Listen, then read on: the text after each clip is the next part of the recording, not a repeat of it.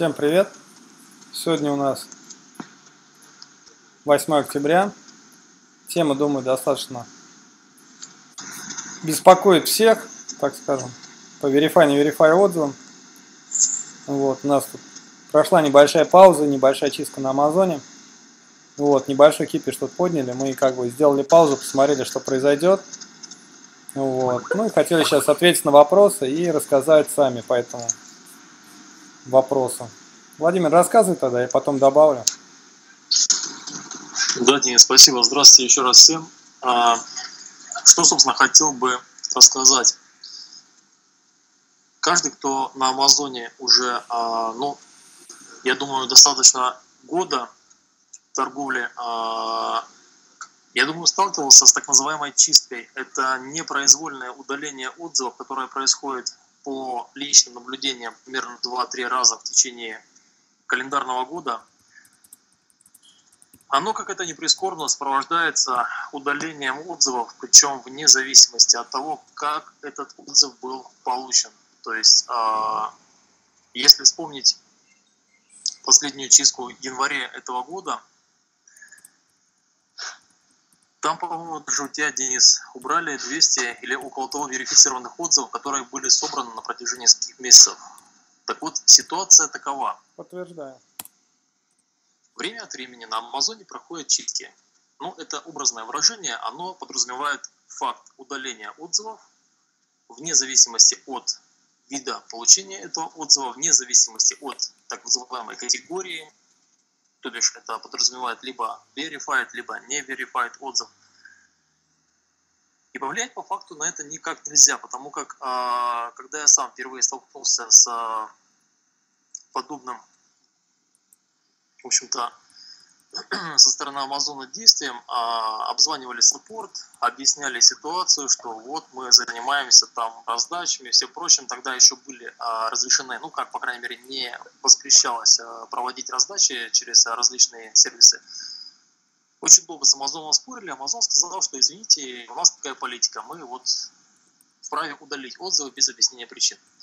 Ну окей, этот момент забыли, а прошло время, это был примерно вот начало года, началась очередная волна, причем волна это была любопытна тем, что зачастую верифицированные отзывы на тот, по крайней мере, период времени удаляли чаще, чем неверифицированные отзывы. И это вот то, что сейчас на протяжении прошедшей недели произошло, в общем-то, очередная волна так называемой чистки. И что она из представляет? Да по факту ничего страшного нет исчезает какое-то количество отзывов. Причем э, отзывов может исчезнуть абсолютно рандомным образом. У кого-то 1-2, у кого-то 10-20, у кого-то 50. От чего это зависит, неизвестно. Какие отзывы попадают под удаление и как это, ну, скажем, предугадать, тоже непонятно. Но для э, health аккаунта, для самого аккаунта, в принципе, вот уже на протяжении, сколько я этим занимаюсь, более полутора лет – никакой проблемы, в общем-то, это не представляет. Единственное, ну, минус, да, безусловно, когда мы тратим деньги на раздачу, мы раздаем продукт, мы по факту теряем и стоимость юнита, и Amazon плачиваем. Amazon удаляет по факту, в общем-то, органические отзывы. Да, и, кстати, отзывы, которые получены абсолютно легальным образом, когда э, используется автореспондер или человек просто действительно пожелал, изъявил желанием оставить отзыв, разместил там какого-либо содержания, неважно, отзыв, также это бывает попадает под удаление. По факту бороться с этим никак не представляется возможным, а единственное есть замечание а, к неверифицированным отзывам. Как уже неоднократно ранее отмечал, а, гарантия предоставляется два месяца. Почему? В отзыве, в тексте отзыва не рекомендуется указывать что-либо в отношении продавца, доставки, в отношении сервиса Амазона, в отношении а, какого-либо иного товара, именно в сравнении и характеризующим, допустим, а, более положительно ваш продукт в сравнении, допустим, с каким-то сторонним продуктом, это ну, характеризовано, может быть, как а, реклама или а, как антипиар. Все подобные отзывы, содержащие вот примерно а, подобного формата какие-то выражения, да, они могут быть в течение особенно первого месяца удалены.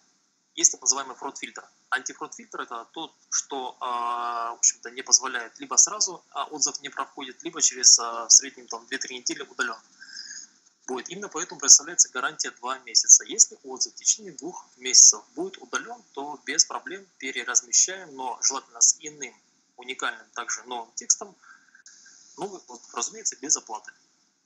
Касаемо а, вот этой волны, которая сейчас, если кто-то а, попал, к сожалению, именно в тот период, когда Amazon начал проводить очередную чистку, на самом деле я не вижу абсолютно никакого повода для паники, а всего лишь э, просьба будет предоставить новый текст для размещения количества отзывов, которое, соответственно, было удалено у вас листинга из числа тех, которые вы заказывали.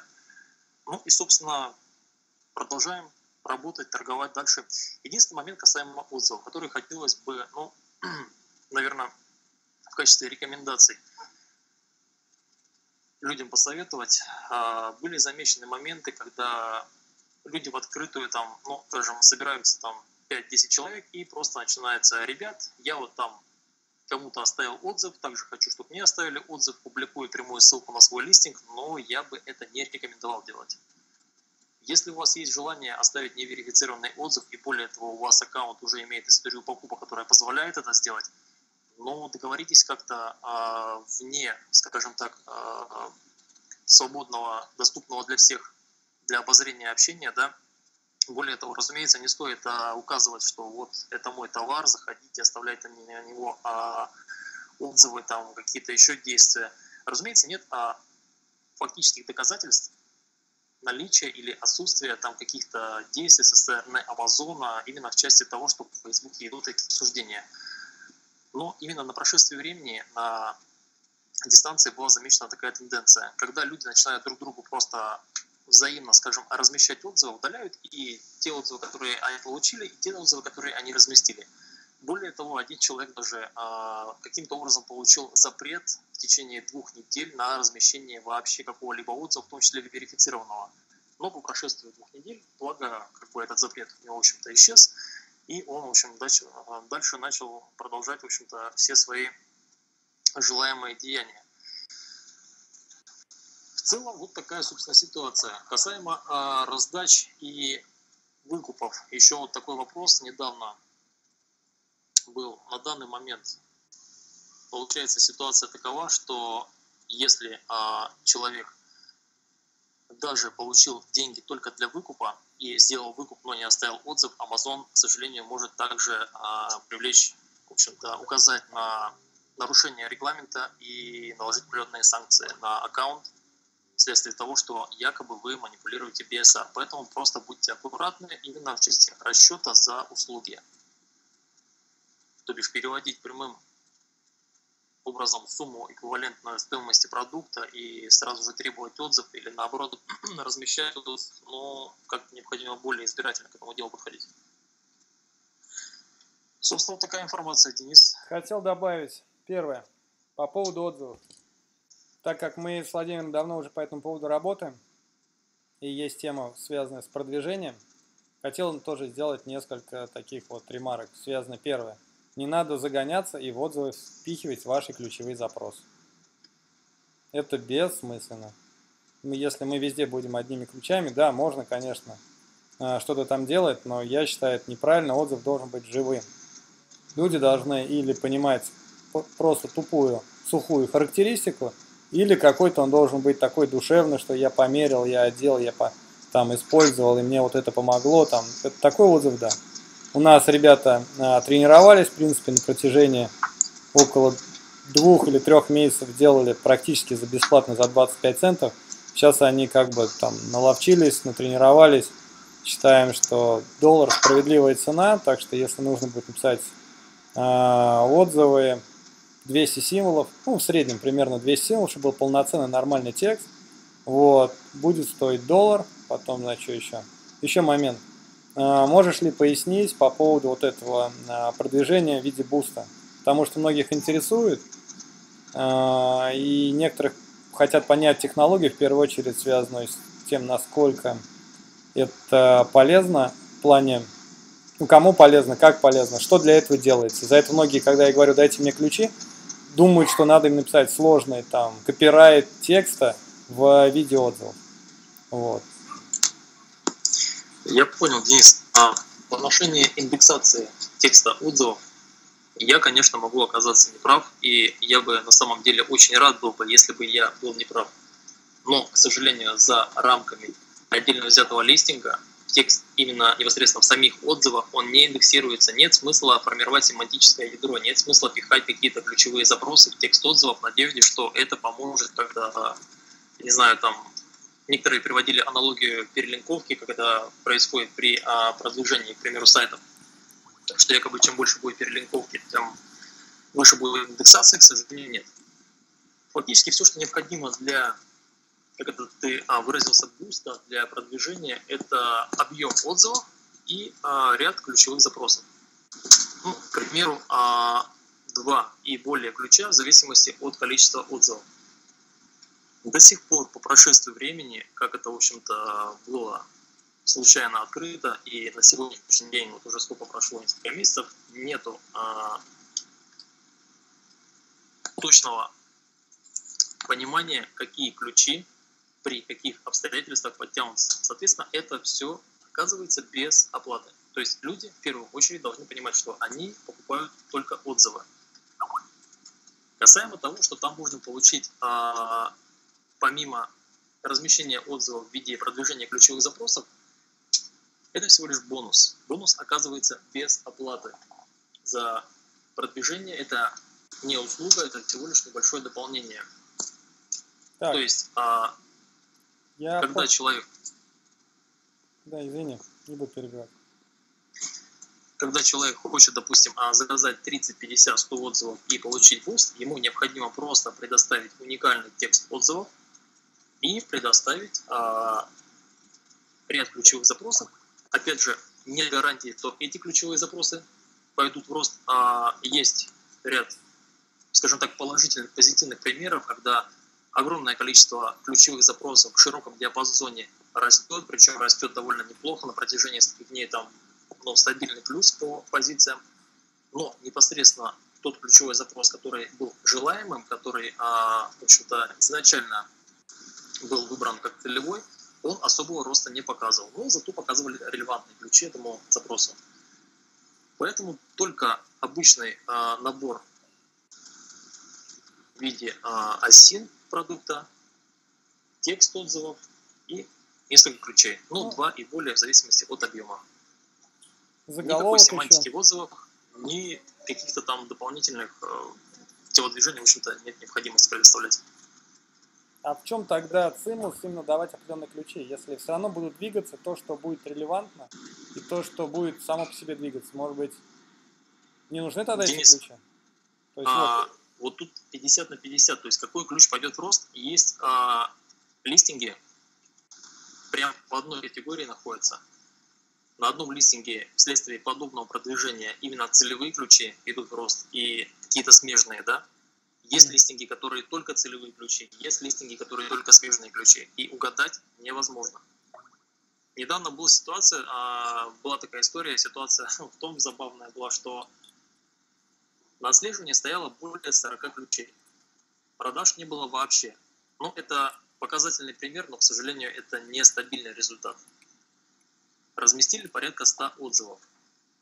Из, а, большинство из отслеживаемых ключей показали рост, ряд среднечастотных вышло на первую страницу, там низкочастотные тоже потянулись огромное количество на первую страницу, там порядка 10 а, ключей вышло появилась органика, начали тянуться высокочастотные ключи. Но это скорее исключение из правил.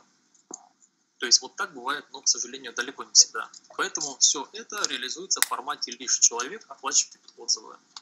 Ну, это понятно, я не к этому клоню. Может быть, вообще не нужно эти ключи давать? Они сами будут по себе двигаться? Или все равно нам надо ориентир какой-то, куда направить человека? Ориентир необходим, если просто размещать без ключей и не выбирать никакого ориентира, но без проблем можно ради интереса провести эксперимент, просто взять листинг, сначала разместить отзывы обычным образом, потом с ориентиром на какой-то ключ. Ну, посмотреть, в общем-то, отличие. При условии, что, допустим, на листинге нет продаж, не работает pay-per-click. Всё Если понял. есть желание, можно провести подобный эксперимент. Так, что у нас еще? Еще тогда... Ну, здесь все понятно. По отзывам понятно, то есть по гарантии понятно. Из-за этого, в принципе, мы так долго работаем. Вот.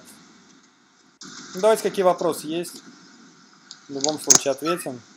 Те люди, которые у нас по гарантии, а, когда мы начнем уже восстанавливать, как ты считаешь? Достаточно уже времени прошло? Да. Я думаю, что с э, сегодняшнего, завтрашнего дня, ну скажу честно, на своей листинге я не прекращал размещение. Да, было удалено а, там порядка 8 на одном листинге, на одном там вообще буквально два отзыва слетело. И есть люди, которые писали, у них по 20, по 30 э, отзывов исчезло. Ну, на самом деле это не проблема.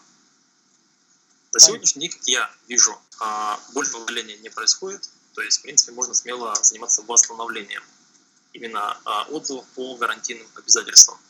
Да, так, так что предоставляйте. Сейчас некоторые вопросы уже возникли у людей.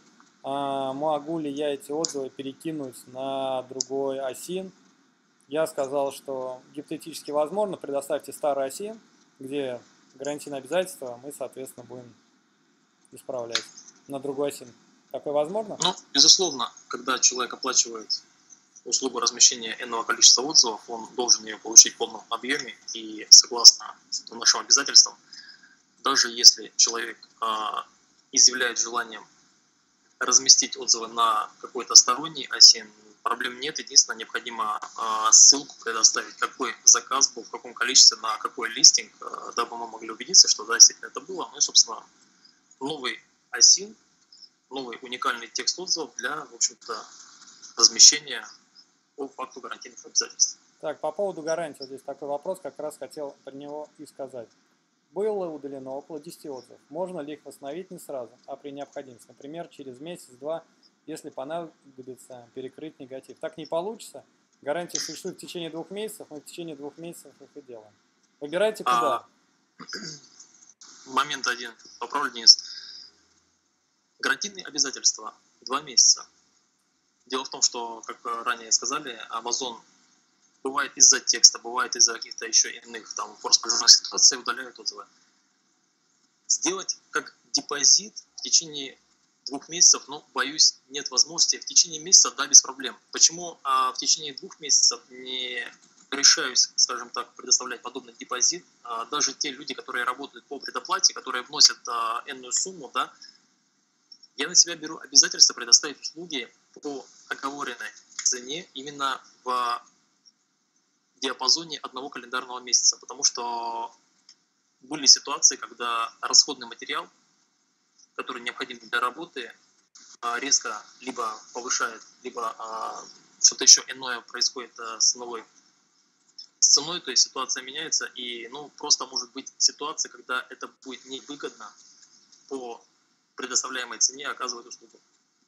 То есть все в разумных пределах. То есть в течение месяца это норм, но так как э, все растягивается, не хотелось бы и бухгалтерию вести очень на длинной дистанции, тоже сами нас поймите. Так, дальше. В чем отличие Verify, не Verify? Verify с выкупом, то есть человек должен купить и написать отзыв. Не Verify, человек не должен купить. И то, и тот Ну, вариант соответствует правилам деле- Амазона. Выкуп на самом деле это и не требуется порой, но сам факт э, основного отличия именно в табличке, которая свидетельствует о том, что Amazon подтверждает, что человек, который написал отзыв, он имеет, а, в общем-то, этот продукт в наличии, там, тем самым якобы а, дает гарантию, что это отзыв более, скажем так, не знаю, чистосердечен, как это сказать правильно по-русски. То есть Amazon, по сути, выступает гарантом, что человек получил этот продукт, что этот продукт был приобретен этим лицом, не обязательно на этом листинге, он может быть и у other sellers, когда, допустим, в байбоксе несколько продавцов. Это гарантия, получается, Амазона, подтверждение Амазона. Но если а, таблички не verified нету, то по факту Amazon допускает размещение отзыва также и с фото, и с видеоконтентом. И фактически все упирается лишь в наличие вот этого verified. На самом А. деле бывает с выкупами, тоже не Verified пишут, так что все по-разному. Мне... Кстати, есть такой, момент э, хотел бы отметить. Когда заходишь с мобильной версии, в первую очередь показывается Verified. Да. И если будут, к примеру, размещены а, там несколько пятизвездочных а, не verified, и на листинге будет а, однозвездочный verified, то именно с mobile версии он будет в первую очередь виден. Так что verified нам тоже заниматься все должно быть в совокупности, гармонично.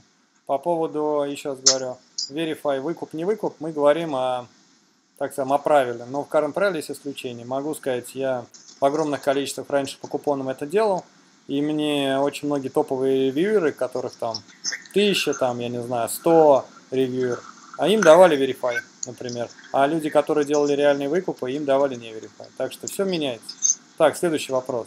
Вопрос такой. Вы считаете, Диана задает, вы считаете, что необходимо писать 50-100 отзывов и больше? В таком количестве их не, не читают покупатели, первых 5-10 максимум, ведь отзывы продвигает товар наверх. А выкупы у меня в Европе стоит товар с 5 отзывами, продаж не было, потому что листинг и фото были не очень. А когда сменил фото листинг, то с теми же пяти отзывами продаж полетели. До сих пор только 5 отзывов стоит. На самом деле, есть такое выражение, не хочу его говорить, но а, получается по отзывам 50-100 это стратегия продвижения. Если вашей нише с 5 отзывами хорошие продажи, так и замечательно. А если нет этих хороших продаж, то, соответственно, а, надо работать. И наша стратегия, у всех стратегия разная. Я делаю так.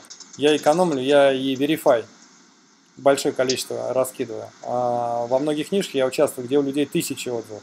И с вашими пяти отзывами маленькая вероятность. То, что у вас срослось, если вы сделаете хотя бы последовательно 10 запусков таких успешных, и в каждом запуске вы сделаете плохие фотографии, или просто фотографии, а потом их поменяете, у вас будут, тогда да. А статистика в один товар, в два, в три меня вообще не интересует. Это, это просто на бум, на удачу, это не бизнес. Бизнес, когда у вас конвейер, когда у вас работает товар за товаром, товар за товаром. И когда вы набираете, вот мы отзывов пишем десятки тысяч в месяц, из-за этого мы можем что сказать. А когда здесь люди пишут всякие там американские переводы, всякое умозаключение, меня оно не интересует, потому что они ничего не делают. Столько отзывов никто не делает. А если делают, то их здесь нет.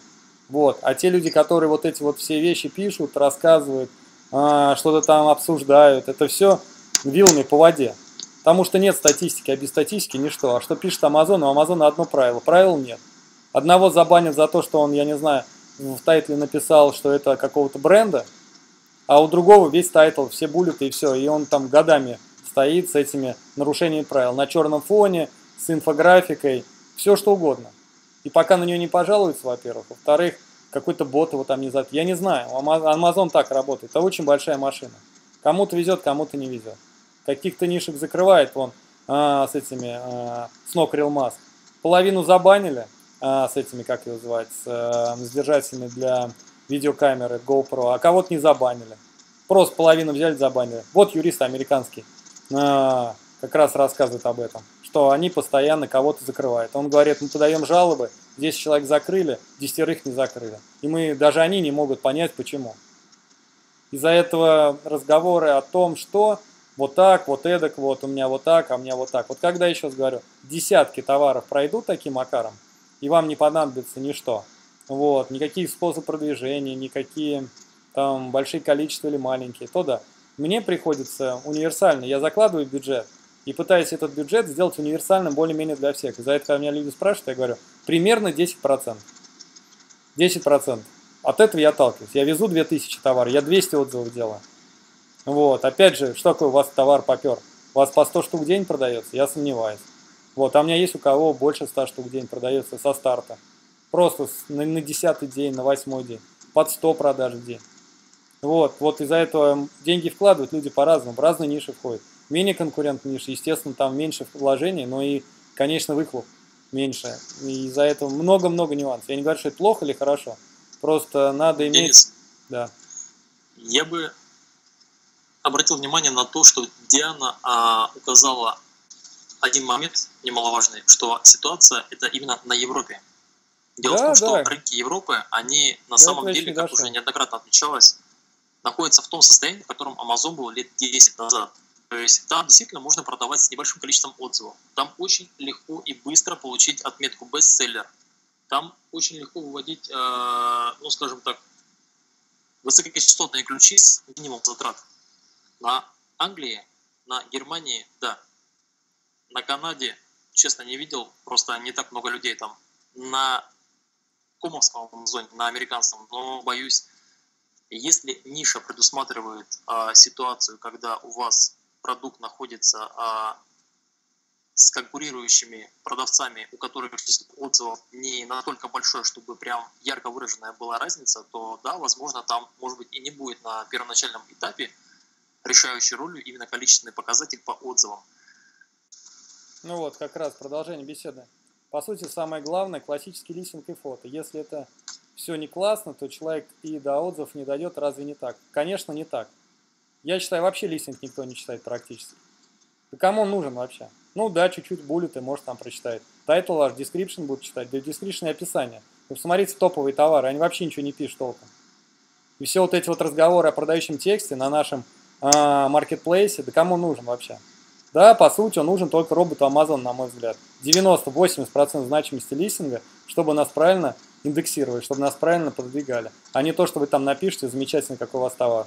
Фотографии, да, фотографии очень нужны, и важные. Но помимо фотографий у нас еще есть цена, есть количество отзывов, количество средних звезд. То есть есть и качество, и количество. Вот это самое главное, а не то, что у вас в тайтле написано. Да, буллет мы прорабатываем однозначно, но я не, не ставлю на него ставку. Вообще не ставлю. Вот, из-за этого, извините, конечно, я с этим не согласен. По Европе, да, может быть. Но когда вы зайдете в нишу, где по 5000 у людей отзывов, извините, э, вам надо что-то такое невероятное сделать. У вас должна быть супер новая какая-то модель, по обалденной цене и который будет сильно конкурентно. Потому что торгует, вон, зайдите, как он сейчас, точилку для ножей, там, can opener и так далее. Просто у людей по 5 одинаковых товаров. Вот из-за этого нужны вопросы, нужны отзывы. Да, надо, надо фотографии, надо видео снимать. Уже постепенно, потихонечку идет к тому, что я вижу, что Amazon делает что? Amazon постепенно идет чуть-чуть к eBay. То есть делает на наших листингах еще магазин. Чтобы можно было перейти, посмотреть, не просто там список товаров, которые у этого продавца есть, а именно действительно полноценный магазин. И это правильно. Тогда он заменит многие вещи. Второй момент, он идет к тому, чтобы а, еще у нас что там они делают сейчас, уменьшают все эти наши листинги, все эти тексты. Уменьшают. Они не увеличивают, они не дают нам больше. И что они еще делают? Они еще планируют и видео воткнуть. Тоже, чтобы можно было визуально посмотреть. Так что все идет к тому, о чем мы сейчас говорим, а не о том, что надо писать целые э, поэмы и рассказы. Могу лишь добавить, что в принципе визуальная составляющая на каждом листинге действительно есть, когда человек просто выбирает продукт из десятков подобных ему, то, наверное, да, в первую очередь он смотрит именно на title, на титульное фото и на фоторяд, который на листинге есть. Дальше идет вход, наверное, на мой взгляд, это общий рейтинг отзывов, то есть это должен быть, ну, наверное, не менее 4-4,5, хотя некоторые товары даже и с тремя звездами продаются. Но опять же, это при условии, что не так много конкурентов. И читают, наверное, может быть, там первые 10 отзывов. Ну и, разумеется, обращается внимание на общее количество отзывов. Вопросы еще. Вопросы Бывает. это все по факту а, маркеры, которые повышают лояльность. Если Но... человек а, будет впечатлен тем, что листинг, как это можно сказать, живой, да, то есть он тут и присутствуют вопросы, лайки, хотя это понятное дело, может быть, все накручено, но тем не менее, не каждый понимает, что Да никто не понимает в основном. Я тебе могу сказать, на днях Яндекс Маркете покупку делал очередную электроники, я все равно отзывы читал и все равно их фильтровал. В любом случае, у нас вариантов нет, основной это отзывы. Основное, кто читает, негативные отзывы, позитивные, кому что нравится. И надо не забывать, что такое title. Title это просто название количество символов в тайтле будет сокращаться. Если вы в магазин заходите, там продаются мандарины, вам не пишут мандарины, мандарины красные, мандарины привезенные, там еще откуда-то мандарины, супер best мандарины и так далее. Это все, это, из, так скажем, э, рудиментальные органы. Постепенно будет просто название товара, бренд, и чем дальше будет, тем более будет структурировано. Название, определение, что за товар, там описание товара элементарно. Вот и все. Из-за этого title читать. Title надо понять, что это за товар. Вот основная функция тайтла. Ну, я имею в виду для покупателя. А для робота мы делаем кучу ключей. Мы же не для покупателя отзывы. Ой, не для покупателя эти ключи пишем, а именно для робота. То, что робот в тайтле индексирует, можно сказать, лучше всего. И search если мы хотим проиндексировать, мы пихаем в title. Но мы же не можем весь search даже пускай эти 250 символов, забить все в title. Не можем. Из-за этого мы начинаем как-то крутиться. Search Terms а хотел момент один добавить, немаловажный. А, наблюдение любопытное, в общем-то, привели к тому, что ряд топ-селлеров, ряд прям очень-очень жирных продавцов у себя Search Terms вписывают буквально 3-5 фраз. Причем да. это фразы, которые у них содержатся абсолютно везде. Где логика, почему так, сложно ну. сказать. Но когда информация такая попадает, и ты видишь, что у человека продажи, точнее у листинга продажи там ну, в среднем минимум 50 в день, и при этом у него основные ключи на первой странице, и в Search Terms буквально две фразы, ну, до конца логика не ясна. Но сам факт то, что Search Terms это не основа, а лишь небольшое дополнение, помощник для того, чтобы а, листинг был проиндексирован поисковыми роботами, ну, я думаю, это вот наиболее верная будет, э, как сказать, характеристика, да, для чего это необходимо. То есть, действительно, нет смысла туда забивать прям подчастую 200 символов. Туда необходимо вписать то минимальное, что вам хотелось бы, чтобы э, было скажем правильно, участвовала в индексе и отображала ваш листик под или иным ключом. В этом отношении тоже могу сделать замечание. С одной стороны, да, сорсером, я считаю сорсером основное. Но мы не знаем, я считаю, что Amazon постоянно меняет значимость. Опять же, то то, то то, то пятое, десятое. Но, как бы там ни было, вполне возможно, что на самом деле эти топовые продавцы незаслуженно там находятся. Вот и все. По примеру последних запусков товара мы запросто догоняли этих топовых продавцов. Вполне возможно из того, что они 5 лет назад, там, год назад, 2-3, когда не было конкуренции, вылезли на халяву, просто на халяву, так же вот, 5 отзывов у него было, само собой органические продажи подтянулись. Но если бы это так было бы, и они бы железобетонно там сели, что нам там вообще делать? А вот мы вот здесь сидим и выстраиваем стратегии, пишем серстером, пишем листинги крутые, а фотографии, я смотрю, просто постоянно растут качество и все остальное. Просто за год сколько всяких изменений произошло. Может из-за этого мы туда пролазить начинаем. И все больше и больше. И есть людей продажи. Так что здесь вопрос такой относительно. Не надо загоняться сильно о том, что там нет. Делайте просто хорошо. Не надо делать как-то там, я не знаю, невероятно хорошо. Вам нравится, у вас вот пошли продажи. Но я сейчас говорю, статистика – самая страшная вещь. Из-за этого, когда у вас десятки товаров будут заходить, я к вам сам первый обращусь, скажу, что мне написали – там запуск сделали, определили качество фото, определили качество листинга, чтобы я привез и поставил, да еще и с пяти отзывами. Да это же красота. Мы же все тратим на это деньги. Так, ладно, пойдем дальше. У нас вопрос еще есть. Так, в чем отличие Verify было? 50 был, пишет, что иногда банят, как это относится к заказным отзывам. По поводу банов. Банов не было, было ограничение листингов.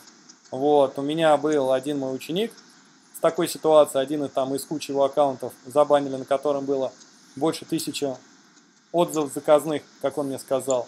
А его разбанили, то есть э, он написал, как он изменится, признал свою вину, э, как он э, решит и будет бороться с этими проблемами, и что такого больше не повторится. Вот, написали письмо, разбанили. В группе я видел, девушка то же самое писала, что то же самое ее также разбанили. Но я так понимаю, у нее была другая ситуация мы тоже забыли про этот момент сказать. Когда вы заказываете кучу отзывов, verify, не verify, неважно. И потом, когда вы жалуетесь продавцу, ой, покупателю, или еще хуже на Amazon, имейте в виду, что гарантию мы предоставлять не будем. У вас получается куча накрученных отзывов, которые вы не verify заказали, verify. Вы обращаетесь в Amazon и начинаете говорить, вот мне поставили несправедливо одну звезду, удалите мне. Соответственно, индусы заходят и начинают там проверять, или кто там, и начинают удалять все подряд. Помимо того, что они могут из своего личного усмотрения сделать, во-вторых, они могут запустить специально вот эти вот программы, которые будут проверять, насколько они у вас, так скажем, адекватны эти отзывы. И можете потерять все отзывы. Вот, уже было несколько прецедентов, и если я не ошибаюсь, мне сказали, у той тетеньки как раз именно было то же самое. То есть, ну, тогда она жаловалась, э, она общалась, так понимаю, с покупателем вроде, вот, и покупатель, видимо, может быть, нажаловался на Amazon и закрутилась этот шарман. Больше я никого не знаю. То есть, вот, все люди, которые мы делаем отзывы, это, ну, реально в месяц десятки человек. За все время у меня вот сейчас на данный момент висит около 10 человек из всех, кому удалили. Понятно, что многие на это внимание обращают. Вот, то есть удалили там несколько отзывов, да и шут с ними. Но у кого именно большое количество обратились, то есть мы им сделаем гарантию, а, но это было, ну, там, 10, может быть, 20 человек, не более того. Вот. То есть вот такая вот ситуация конкретно по отзыву. Мы из-за этого Владимир уезжал, я как раз дождался, он приехал. Мы работаем вместе, то есть вот хотели как раз рассказать. Что касается по банам, у тебя есть что добавить, Владимир? По банам? Ну, разве что я рекомендовал бы людям, но опять же, это информация исключительно моего, а, из моего личного мнения вытекает. Не рекомендовал бы афишировать прямые ссылки с призывами давайте, ребят, вы у меня а, сделаете там отзыв, и я вам возмещу, компенсирую расходы на приобретение. Не рекомендовал бы обмениваться между двумя продавцами с их аккаунта на свои какие-то а, листинги, то есть по факту получается одни и те же продавцы друг другу клепают там верифицированные, верифицированные, тем не менее отзывы. И третий момент это по взаиморасчетам. Как бы есть, а, ну, я понимаю, возможно, звучит немного неадекватно, что Amazon там сливает информацию. Да, Amazon никому ничего не сливает. Но Amazon очень гибкий регламент. Если, а, точнее, прошу прощения, у PayPal, если Amazon, к примеру, а, избрал такую стратегию, что вычленяет взаимоотношения между покупателем и продавцом через PayPal и пресекает данный формат именно в виде а, повторяющихся событий, когда человек приобрел продукт и потом оставил положительный отзыв, и у него находит подобную транзакцию, да, на мой взгляд, и опять же есть, предшествовал ряд фактов, хотя люди это восприняли просто наспех, и считал э, не один, там несколько человек писали, что такого быть не может. Ребят, почитайте регламент PayPal. Я никого не призываю отказаться или там как-то не пользоваться, ограничивать а, взаимоотношения с PayPal. Я всего лишь а, призываю к чему? когда люди заказывают у нас неверифицированные отзывы. Чаще всего именно неверифицированные, потому что с верифицированными не так много людей сталкиваются именно без выкупа из-за ну, довольно высокой себестоимости. А по неверифицированным бывают ситуации, когда проблемы, которые возникают с листингом, а, начинают отбрасывать тень именно на не-verified отзывы. А, чтобы подобного не было, ну, хотелось бы предостеречь поэтому людей, собственно, из этого и время от времени поднимаю вопрос на обсуждение в части того, что может привлечь а, к каким-то проблемам и что может повлечь, допустим, негативные какие-то ситуации да, со стороны получения претензий от Амазона. В частности, через PayPal транзакции, либо а, проверяйте, чтобы у человека аккаунт на Amazon Почта точнее, была разная хотя бы. Да, не соответствовал а, почте на PayPal. Один человек, между прочим, в Телеграме предложил довольно любопытный вариант, но не знаю, как это на дистанции будет. К примеру, желает человек оставить вам Verify тот получает вас деньги, да, и убеждает, что у него другой совершенно аккаунт на Amazon, нежели чем тот, на который вы переводите а, через PayPal средства, просто берете, заходите на Amazon, а, вбиваете, вас, а, забыл пароль, вбиваем, значит, e-mail, смотрим, существует ли тот аккаунт, который он вам предоставил в качестве платежки через PayPal на Amazon. Если существует, ну, стоит задуматься. То есть на данный момент у меня мысль лишь одно – варианте, что как-то необходимо обойти взаиморасчет между ревьюерами и заказчиком именно без PayPal это все реализовывать. Ну, Пионер обалденный вариант, но в Америке его нет, к сожалению. Что еще раз? Пионер обалденный вариант, но в Америке его нет. Да, с Pioneer у американцев проблема, Pioneer не обслуживает американцев, точнее не выдает средства или карты, там какая-то у них интересная политика. WebMoney, Яндекс.Money, ну, биткоин, лайткоин, это не у каждого есть. Поэтому пока что этот вопрос остается открытый. Как делать выкуп и как делать верив с выкупом. Ну, мне самому любопытно, потому что, в общем-то, это постоянно востребованная, в общем-то, тенденция. Ну, в целом, чтобы не было... А, еще, кстати, момент немаловажный, когда человек начинает откровенно яростно оспаривать однозвездочный verified отзыв.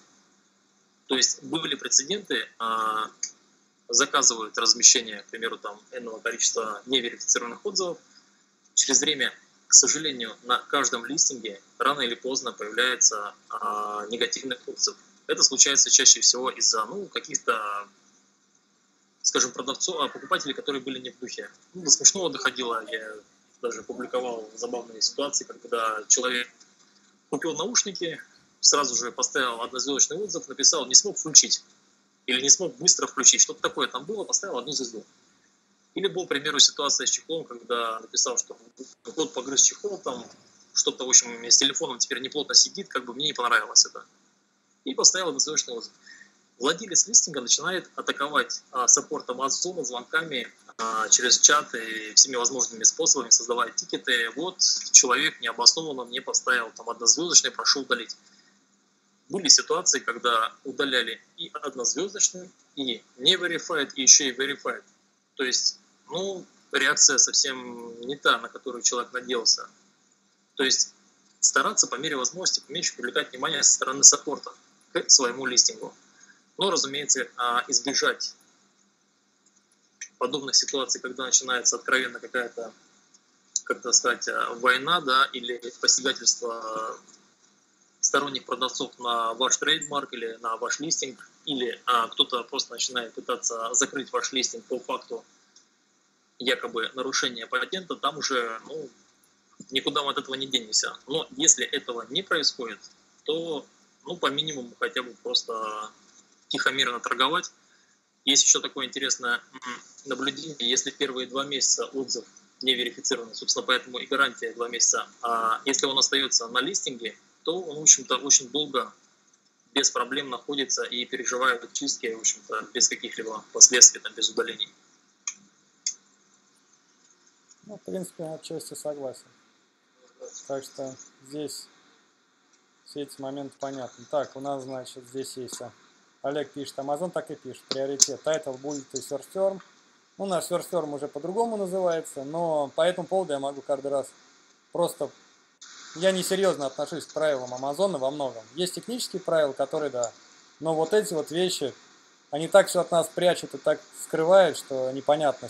Они тоже сейчас как 250 символов, вот, и что? Ну, как делали листинг, как они индексировались больше 250 символов, так и индексируют. Из-за этого, ну, странные, странные, там много очень моментов связанных с Амазоном. За этого надо достаточно доверяй, но проверяй. Ну, другого варианта Да, кстати, нет.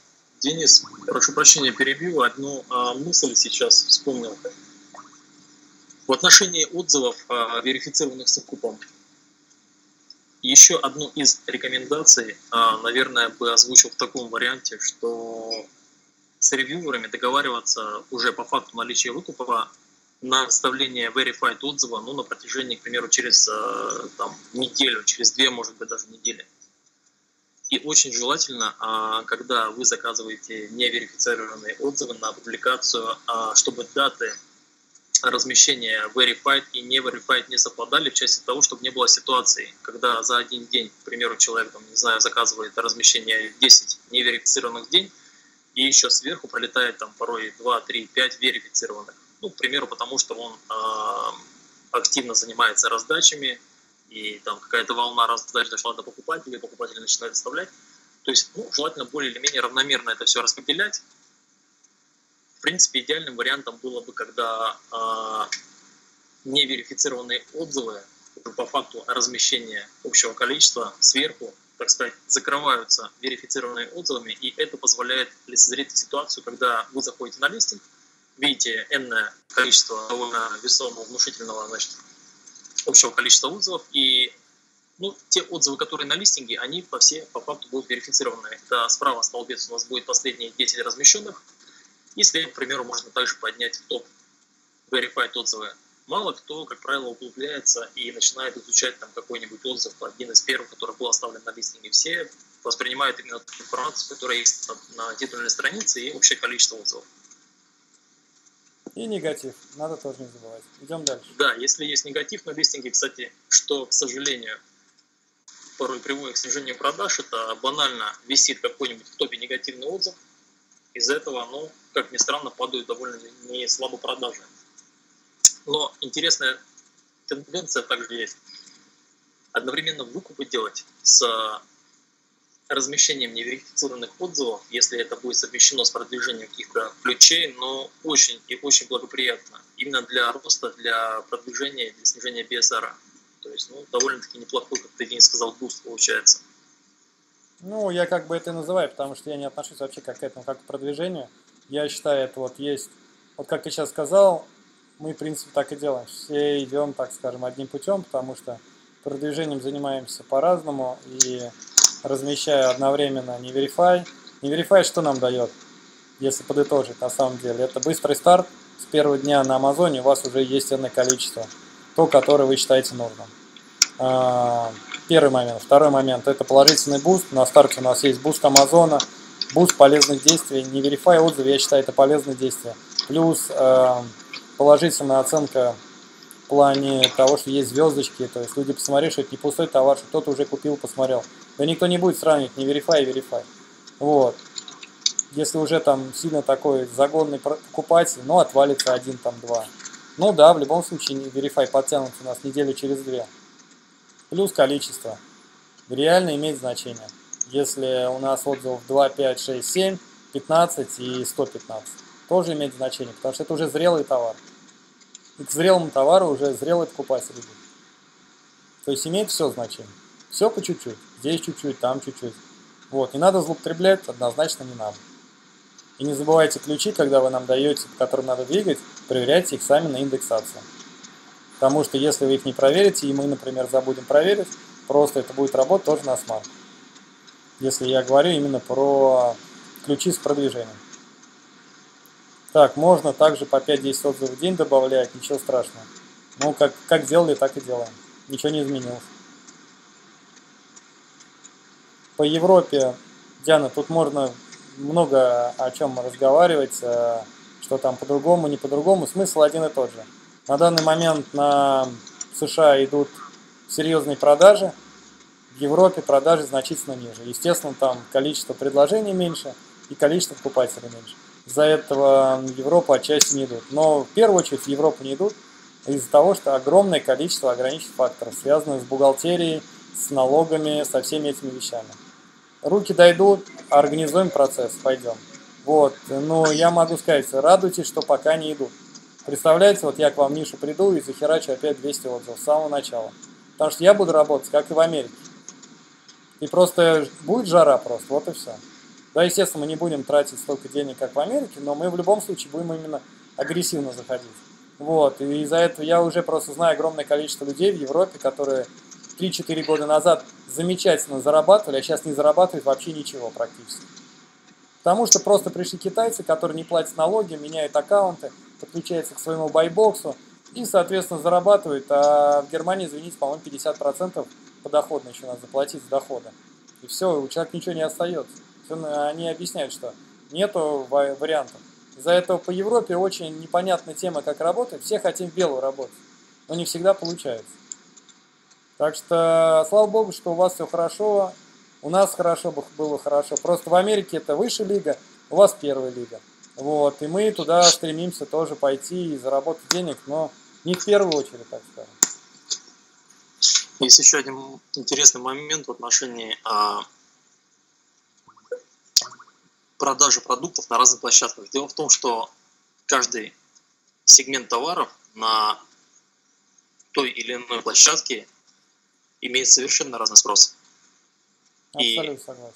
В начале года была такая интересная ситуация, когда на очередной выставке в Китае появились забавные пауэрбанки в виде такого шарика. Знакомый их закупил, завез на рынок Японии, на рынок Америки и, по-моему, куда-то из Европы, из стран Евросоюза. Так вот, лучше всего у него продавалось, пока не а, наступил out of stock, только на Японии. Не знаю а, всех тонкостей работы с рынком Японии, для меня это также ну, абсолютно темный лес, но я знаю, что очень неадекватные товары, очень а, извращенный, если это можно правильно сказать так, а, интерес и вкус у японца, к примеру, да, к товарам, он совершенно не найдет отклика на американском или на европейском рынке. То есть тот же объем на Америке, ну, если не продан, то я не исключаю, что до сих пор даже может висеть у него. Хотя вроде а, на Японии там, ну, без рекламы, без отзывов, без ничего, просто по факту наличия этого товара он начал продаваться. Так. Поэтому интересная тенденция есть, когда вы можете экспериментировать с категориями товара, с рынками, и изучать, где выше спрос, может быть, именно исходя из этого избирательно подходить к реализации а, различных типов товара на разных рынках Amazon. На разных площадках, точнее сказать. Так, ладно. Видел у конкурентов сначала человек оставляет трехзвездочный отзыв, потом через некоторое время меняет его на пятизвездочный. Например, трехзвездочный классный продукт, но перестал корректно работать через 7 месяцев. Пятизвездочный, оказывается, надо было поменять батарейку и все снова заработает. Сталкивались ли вы с такой рода отзывами и как это работает на практике, надеюсь, понять написал. Да все понятно, но я не сталкивался. Я тоже не сижу, не вчитываюсь в листинге. Есть моменты, есть моменты, я могу сказать, несколько человек, э, ревьюеров забанили за то, что они переделали свой отзыв. Забанили за то, что они просто воткнули видосы, их попросили в старое видео. Просто забанили. Ну и пришлось им новый аккаунт открывать за то, что они фото добавили. Я, я иду к тому, что лучше вообще не менять ничего в отзывах. И никого не просить. У тебя еще добавить? Да я думаю, что на все вопросы ответили. Если есть какие-то еще моменты, которые будут интересные аудитории, в общем-то, может, подождем пару минут, да и, наверное, трансляция подходит ну, к концу. Да, в принципе, ничего такого интересного нет. Диана, можете, можете мне в личку написать, там, созвониться. Очень много у вас всяких этих вещей. А, может быть, может быть, да. Но мы тоже здесь не просто так сидим.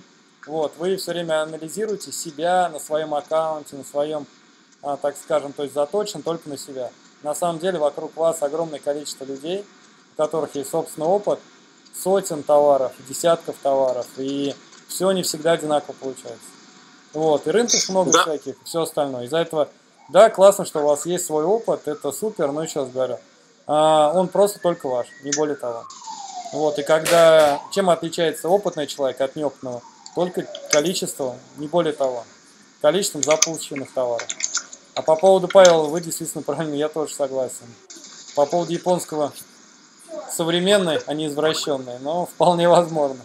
У них там свои моменты. Вот. Я думаю, на сегодня достаточно. Все, что ну, Денис, хотели еще момент, один а, вопрос.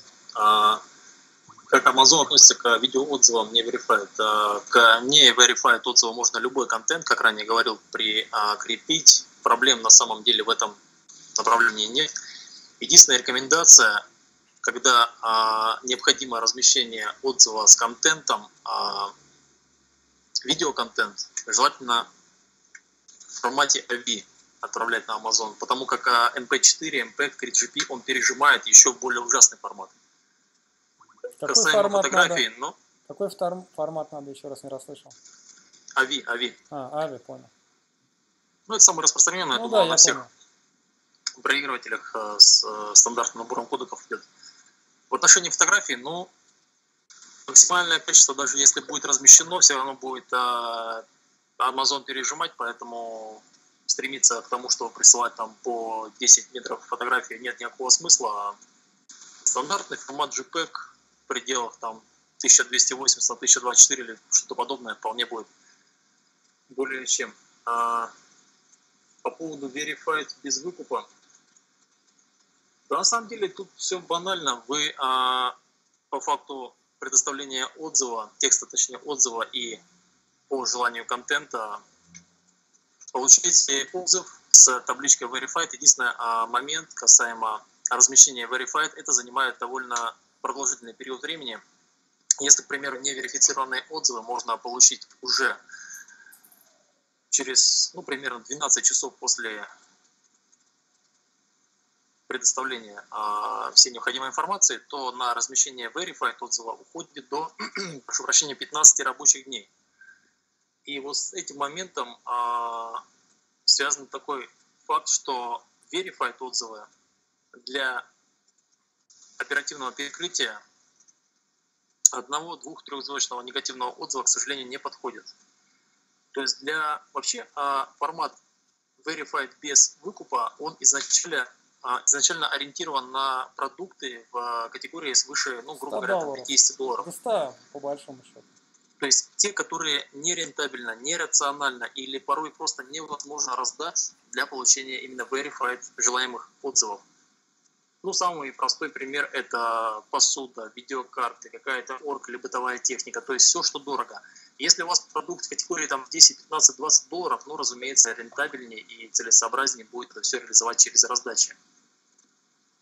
Здесь просто получается момент, что есть, конечно, схема, набрать отзывы, подкрепить другой листинг, продавать сначала дешевые товары или через FBM не отправлять этот дорогой товар. Ну просто это тоже морока, тоже фи, из-за этого проще вот по этой схеме работать. Ну вот и все. Но в любом случае товары 100 плюс, грубо говоря, так вот, если по-хорошему. И в день мы, насколько я понимаю, стоимость этих отзывов 35 долларов. И в день, насколько я понимаю, мы можем делать один только. Правильно? А там ситуация немного иная, нежели чем с не Verified. Можно сделать до примерно 10 в день, но появятся они примерно через две недели. То есть, к примеру, если вам нужно, грубо говоря, там 3 дня по 10 Verified отзывов, чтобы были размещены, это можно реализовать, но с учетом на то, что Две недели. Ну, это как примеру, обычно, Verify, что ты? Как обычно, да? То все то же э, самое. Формирует человек заказ, а присылает, допустим, Конечно. если необходимый текст. Это все уходит в размещение, но появляется на лимите, например, через две недели с дня публикации. Да, еще я тут смотрю, тему вообще не, за, не затронули негатива на своих конкурентов, негатива на Verify, негативный и все остальное по большому счету толком этим никто не занимается. Очень много возникает по этому поводу вопросов морального толка. Вот, э, и в принципе мы на данный момент пока этим не занимаемся. Просто я смотрю Могу вопрос. сказать, а, встречал в группах, есть люди, кто занимается исключительно негативом, но проблема у негатива, если чисто этикет убрать и оставить здравый смысл – очень легко заблокировать аккаунт покупателя.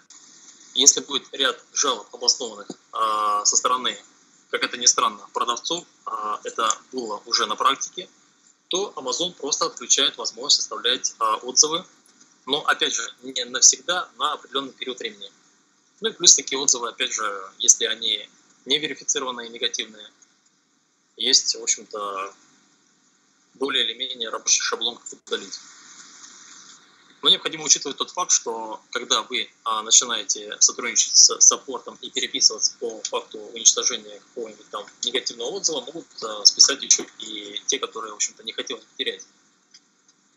А Amazon, к сожалению, порой ну, довольно странно себя ведет, особенно когда удается дозвониться до какого-нибудь неадекватного индуса, который не понимает вообще, для чего он там сидит и что от него хотят. Кстати, были довольно-таки интересные ситуации, когда человек заказывал отзывы, а, потом устанавливал, на какие а, продукты еще были оставлены отзывы этими же ревьюерами, начинал размещение негативных отзывов и потом писал предложение ревьюерам, что вот, в общем-то, у него есть возможность удалять негатив, он может помочь, увидев, что там появился негатив, там предлагал услуги. То есть довольно ну не то, что распространенная, но забавная такая ситуация была неоднократно. Предприимчивые люди, короче, то есть нормально зарабатывать не могут. Именно они создают позитив, а создают негатив искусственно. И этим занимаются. Но не наш путь, так скажем. Будем работать головой, а не одним местом. Ну, вот, так что, в принципе, я думаю, все. По поводу отзывов понятно. По поводу гарантий понятно. А, стратегии продвижения у всех разные, кто чем пользуется.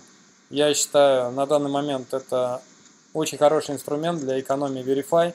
Я считаю, не Verify намного сейчас безопаснее, чем, чем Verify. Почему? Потому что не Verify пишется там несколько отзывов. Сколько сейчас пишется одного аккаунта отзывов? Не Verify в среднем. Ну, порядка трех-пяти. Вот и все. А с Verify вы посмотрите у покупателя, сколько написано отзывов. Можно и один написать, но тогда Amazon может запустить какого-нибудь бота, робота и постепенно их удалять. То есть, когда один аккаунт, один отзыв. Это тоже неправильно. Вот, видимо, неправильно. Я не знаю точно. Потому что мы не знаем, какие программы в будущем Amazon запустит. Но Verify у людей вот это вот именно связка, именно э, история, и видно, какие товары делали отзывы. Все, все видно вообще. Вообще все видно. Вот, из-за этого э, с Verify аккуратно я максимально уменьшаю количество. Первое, из-за того, что цепочку вот эту устранить. Второе, когда обращаешься к этим людям, э, они уже отзывы на эти товары делали, и будет нелогично постоянно покупать одни и те же товары. Вот, и очень много нюансов. Все торгуем одним и тем же. Я же огромное количество товаров вижу, кого консультирую. Вот, всех одно и то же. И так что не Verify, он закрывает как раз вот эту дыру с Verify. Не Verify можно неограниченное количество сделать. Главное с умом и правильно их делать, потому что тоже все по-разному делают. Не забывайте, вот я сейчас мониторил, многие делают упор на не Verify, это тот же самый Verify. То есть те же самые живые люди, у которых куча товаров на обзорах, они пишут и Verify, и не Verify. Естественно, со временем, когда Amazon видит, что он там по 5 отзывов в день клепает, он, естественно, прекращает и удаляет. Вот и все. Вот вся разница.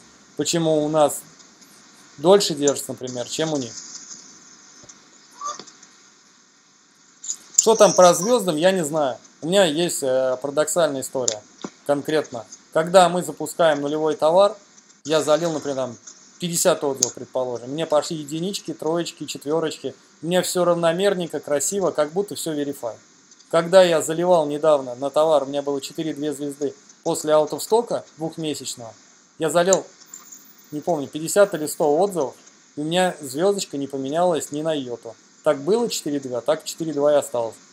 И мы время очень долго ждали, без толку, пока не подтянулись верифая, и достаточно быстро вывели товар на 4,5 звезды. А, Денис, я хотел бы дополнить по этому вопросу момент один. На мой взгляд, а, на новый листинг, когда нет отзывов вообще, или есть, но относительно малое количество, к примеру, там 5-10, перекрыть неверифицированный отзыв довольно легко. То есть, действительно, вы, а, размещая порядка 5-10 неверифицированных, можете с легкостью перекрыть верифицированный. Пусть он даже будет и однозвездочный. Примерно до 30-40 суммарно отзывов опять же, это личное наблюдение, не могу сказать, что это однозначно стопроцентная информация, а рейтинг высчитывается по среднеарифметическому. То есть суммарное количество звезд делим на общее количество отзывов. Свыше примерно 50-60, когда на листинге уже формируется а, количественный показатель отзывов, неверифицированными есть смысл перекрывать только негативы влиять на рейтинг, но, боюсь, очень, очень много и очень долго придется размещать а, в надежде, что изменится рейтинг. Кстати, еще один интересный фактор. Время от времени у Амазона происходят забавные э, задержки э, в переиндексации информации непосредственно на самом листинге. То есть, к примеру, э, размещено было в течение дня 10 отзывов. До двух суток проходит пока изменяется именно количественный показатель, то есть банальное количество отзывов на листинге, когда вы, а, к примеру, в поиске видите поисковую выдачу и видите свой продукт, количество отзывов может не меняться. И это нормально, это, в общем-то, распространенное довольно явление. То есть порой, когда вы заказываете отзывы, видите, что отзывы размещены количество не поменялось, не стоит паниковать, просто подождите, ну, буквально там сутки, двое в среднем бывает необходимо для того, чтобы цифра изменилась. В отношении рейтинга, ну, боюсь, да, Денис, как правильно сказал, а, зачастую, когда особенно недорогой продукт, а, целесообразнее рейтинг подтягивать verified отзывами, потому как, ну, там понятно, что один однозвездочный равен примерно 5-6 пятизвездочным, именно verified к verified verified к неверифайду, ну, в теории примерно 1 к 10. На практике не всегда меняется рейтинг. Точнее, рейтинг меняется, но опять вот, честно, не могу объяснить ситуацию. Есть ряд продуктов. Сам лично вытягивал рейтинг неверифайдами. И есть э, ряд ситуаций, когда вроде количество отзывов не такое большое, там порядка 6-70 штук, было размещено, не знаю, сверху на штук 30, чтобы несколько пунктов хотя бы до 4,5 звезд дотянуть и изменить именно общий рейтинг звезд. Поэтому, если исключить фактор именно влияния на рейтинг, при большом объеме, да, влиять можно. Но именно до момента порядка приобретения порядка 50 отзывов. Все, что будет уже свыше, но вопрос, сколько необходимо будет, какое количество потребуется. Денис? Да, ну, в принципе, я думаю, вообще столько информации по отзывам, давно мы столько не выдавали. Вот. А по поводу того, что работать можно, можно, соответственно, кому надо заказывать в течение там ну, то есть текущие, кому надо именно по гарантии, обращайтесь, то есть скайп и личку, кому как удобнее. Вот, так что работаем дальше, стараемся максимально аккуратно это делать, и вы, и мы. Не забывайте, не обманывайте нас по поводу уникальности текстов, потому что это очень важно. Вот, вы портите себе историю, портите себе аккаунты, нам тоже репутацию. Так что пишите нормальные отзывы, ниоткуда не сдирайте, ни с Канады, ни с Англии. Если делаете, если делаете это так, то меняйте максимально. То есть должен быть изменение текста глобальное. Вот. Не получится просто сокращениями каким-то от этого избавиться. Потому что реально удаляют все отзывы. У меня был человек, кого 190 отзывов удалили за раз. Вот. Так что не надо жаловаться на вот эти вещи, которые мы сказали. То есть некоторые вещи, которые сегодня были, очень внимательно прослушайте и имейте в виду. Потому что если сегодня не забанили, а, просто предупредили, пальчиком погрозили, кому-то письмо прислали по манипуляциям, то, кстати, у меня вот а, одного моего ученика, а, соответственно, прислали ему письмо за счет того, что он живет в Америке, и он раздавал тупо своим друзьям. Verify. Ему прислали письмо. В принципе, он там на Амазоне три недели всего был. Так что, друзья друзьями, но если у вас есть жесткие контакты, есть PayPal, одинаковые почты и куча всяких этих вещей, вот, это нездорово. То есть хорошего от этого не ждите ничего. Если вы заведомо не будете беспокоиться о своих аккаунтах, за вас никто не побеспокоится. В принципе, я все. В отношении цен а, Александра интересуется, цены на данный момент остаются прежними. Если речь о Verified отзывах э, стоимость составляет 35 долларов без выкупа. Выкуп просто банально не требуется, то есть вы оплачиваете э, лишь размещение отзыва и не расходуете продукт. Если речь о неверифицированных отзывах, стоимость неверифайд отзыва составляет 6 долларов вне зависимости от а, публикации с контентом, то есть это может быть дополнение в фото или видеоматериала, цена не меняется. Текст текст необходим от вас. А если сложности с а, формированием текста, вы можете заказать написание. В общем-то, на сегодняшний день уже есть ряд людей, которые ну, пишут довольно неплохо, зарекомендовали себя, в частности, как э, рерайтеры и как э, люди, которые могут сформировать текст с нуля. В отношении а, момента касаемо отзывов, текста отзывов, можно ли брать с других площадок, Раньше я бы сказал, да, можно. С учетом это на сегодняшний день я однозначно не рекомендую вам а, использовать текст и тему отзыва, и текст отзыва а, с сторонних листингов, с листингов конкурентов. Теоретически можно использовать а, текст отзывов, к примеру, с AliExpress, Alibaba и подобных платформ, а, которые вообще находятся, ну, скажем так, не в одной сфере с Amazon, но все-таки желательно уникализировать, потому как если расценивать э, алгоритм поисковых роботов Amazon э, схожим с алгоритмом поисковых э, систем, которые, в общем-то, нам предоставляют информацию, да, наподобие э, кто-то с Walmart Яндекса, то уникальный текст, он будет индексирован в первую очередь не уникальный текст, он будет индексирован в последнюю очередь, но опять же тут не стоит забывать, что индексация именно текста отзывов не происходит. Поэтому, ну, с одной стороны, двоякая ситуация, но все же не так дорого и не так долго самому а, написать уникальный текст, а, просто опираясь на какой-то готовый отзыв, то есть используя его как шаблон, именно не копирайтом заниматься, не рерайтом, а взять за основу и ну, видоизменить как синтаксическое построение, так и, в общем-то, смысловую нагрузку. Просто если не хватает фантазии, ну, можно задействовать, допустим, какие-то там словесные фразеологические обороты, там что-то подобное, но не копируйте, пожалуйста, не используйте ни тему, ни куски отзывов, потому как были ситуации, когда человек просто берет и делает э, некое подобие Франкенштейна, то есть четыре отзыва, ну, сам скажу честно, раньше так делал, а из четырех отзывов можно, к примеру, склепать было один, там, где-то начало, где-то конец взять, ну, на данный момент лучше, конечно, полностью уникальный текст предоставлять. Так, значит, у нас остается по поводу еще проверки этих текстов. Ну, есть, в принципе, специальная программа. Да, проверка. Есть огромное количество популярных и непопулярных сервисов. А работают они примерно по одному и тому же формату, как если бы вы сами вбивали кусками текст и вычленяли совпадения. Ну, самое известное именно в RU сегменте э, российского интернета это текст.ру, текст.ру, и там э, на этом ресурсе есть вкладка «Проверить на уникальность». Ну, я скидываю, В принципе, короче, я ресурс. сюда. На русском сложностей вообще никаких не будет, там довольно Я этим сервисом пользуюсь для того, Простой. чтобы, например, количество символов посчитать. Очень удобно. Да, кстати, там показывает сразу и количество символов с запятыми, без запятыми, то есть, в общем-то, разносторонняя фотография там есть, кому необходимо будет. Так, по В целом ценам. можно ориентироваться на него. По ценам подытожим. Цены у нас как были, так и остались до сотни. 6 долларов, выше сотни 5 долларов. Если с продвижением, то скидки нет. Вот и все. То есть с продвижением это с конкретными ключами. Потому что, получается, затратная часть растет. Вот, вы уже сами выбираете, какие варианты есть. В принципе, все просто. Гарантия 2 месяца. Больше никаких. От вас требуется уникальный текст, а, заголовок, осин.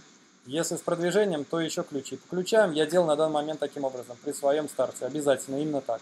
50, когда я заказываю, я беру только два ключа. Мне нужен эффект. Мне хотелось бы больше эффект. 100, я беру 4 сразу ключа. И параллельно, параллельно, я всегда делаю выкупы по этим ключам по одной штуке в день. То есть, чтобы делать максимальную синергию, потому что это уже не, со- не сложение, а умножение этих всех действий, я стараюсь вот таким макаром именно заходить агрессивно. Не количеством денег, не чем-то другим, а именно логическим подходом э, с головой. Как вот это сделать максимально грамотно. Правильно ключи выбрать, правильно листинг написать, фото, цена, товар, это уже другая история. Я конкретно говорю про именно использование непосредственно не верифая, и верифая в совокупности. Планировали на 20 минут, лайф растянулся более чем на час. Ну, то, что тема реально живая, а, я думаю, пользы мы дадим. Так, подходом стой, ой, не э, то с нажал, головой. Как вот не то нажал. Вот, так что, в принципе, все, все вроде рассказали, разжевали уже до нельзя. А на ближайшие, до Нового года, думаю, лайвов по этой теме, надеюсь, не будет. И причин для этого не будет. Работаем в рабочем режиме, обращайтесь, там, заказывайте. а, Ну, все, в принципе, ничего такого нет. По необходимости. все. Всем спасибо за внимание. Всем удачи, Всего всем доброго. пока. До свидания. До свидания.